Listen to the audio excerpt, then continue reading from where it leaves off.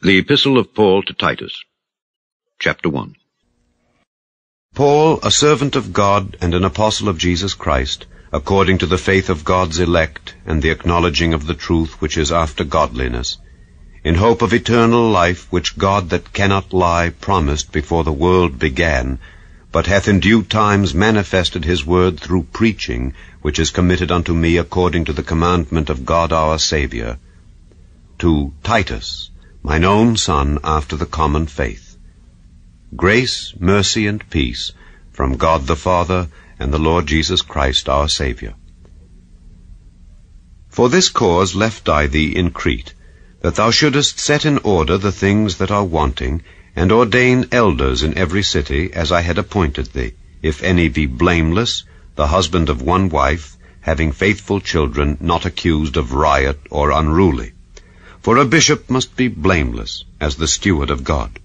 not self-willed, not soon angry, not given to wine, no striker, not given to filthy lucre,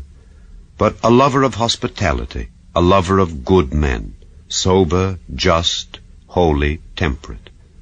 holding fast the faithful word as he hath been taught, that he may be able by sound doctrine both to exhort and to convince the gainsayers.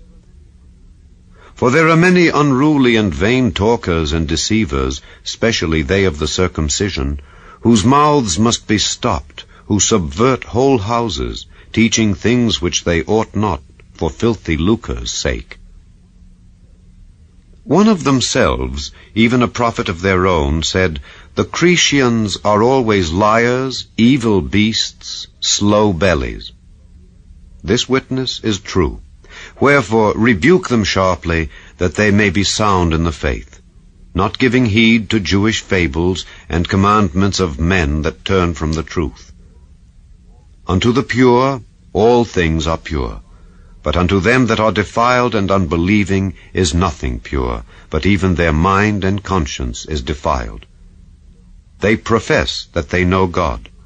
but in works they deny him, being abominable and disobedient, and unto every good work reprobate.